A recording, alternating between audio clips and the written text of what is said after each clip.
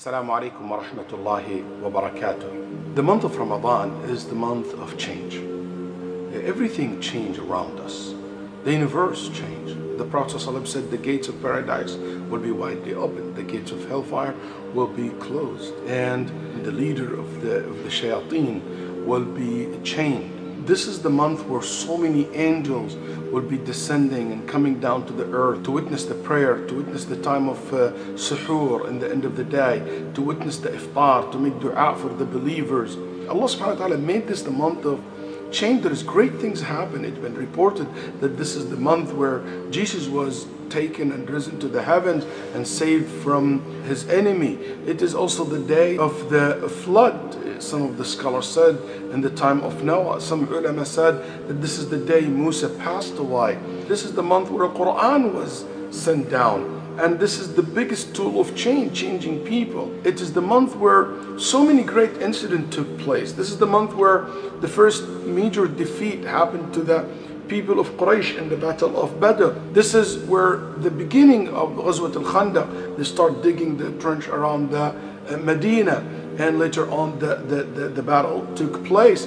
But also this is the month where the conquered of Mecca would just change the course of history, where the Prophet ﷺ entered Mecca and destroyed the, the idols around Mecca. This is the month where the Prophet ﷺ also, not only after he gained the respect and the power in Arabia, he even started being recognized by the other forces around Arabia, and this has happened in the Battle of Tabuk.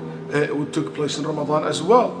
This is the month where Muslims have reached so many places in the world. This is the first time the Muslim reached, crossed the sea, the Mediterranean Sea, went to Al-Andalus. So many things changed during the month of Ramadan. But I think the biggest question that not what have changed, what will change during this year? What will happen? What's the change that's going to take place? And it doesn't matter what kind of change will happen to everybody if there is no real change happen to you. Each and every one of us should ask, we should ask ourselves, what's the thing that happened this year to me? How I'm going to change? How I'm going to take advantage of this month to change myself? And I want to give you one verse, which is Ibn Mas'ud radiallahu anhu arda, uh, uh, uh, said that this is ahkam ayah fi kitabillah, the most muhkam verse in the Quran. And muhkam it means it is explicit, never been abrogated, it's very great wisdoms. And even a man, when he heard this verse from the Prophet ﷺ, he said, Ya Rasulullah, I don't need to learn anything from the Quran after I learn this verse. The Nabi ﷺ called it ayatun faddatun jami'a or faddatun jami'a. It is a unique, inclusive verse. It is in Surah Al-Zalzala where Allah subhanahu wa ta'ala said, وَمَن يَعْمَلْ مِثْقَالَ ذَرَّةٍ خَيْرًا يَرَى فَمَن يَعْمَلْ مِثْقَالَ ذَرَّةٍ وَمَن يَعْمَلْ مِثْقَالَ ذَرَّةٍ شَرًّا يَرَى If you do good, one good uh, deed, even if it's the weight of atom, dharra, or some ulama said the head of a small ant, you will see it. This verse, it has many benefits we can learn from it. But one of the point that I, I, I intentionally brought this ayah uh, here in this uh, topic for is to understand that change happen with small things. The more you do these small things, the more you will change yourself. You know, change usually doesn't happen by taking this huge major steps and dramatic st change in your life. It is these little things that you do. That's why the Quran emphasizes uh, uh, on the importance of not underestimating the or belittling the little good deeds, the little steps that we take.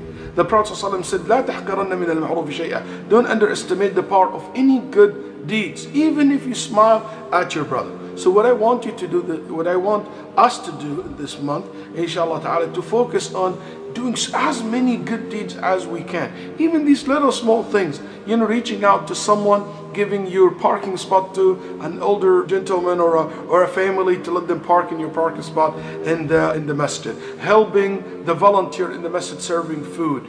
Cleaning after the iftar. Helping uh, someone in learning uh, Quran. You know, remind a buddy with someone to help one another to know the adhkar. Even if it's one line, one verse, uh, uh, small steps will help you to change.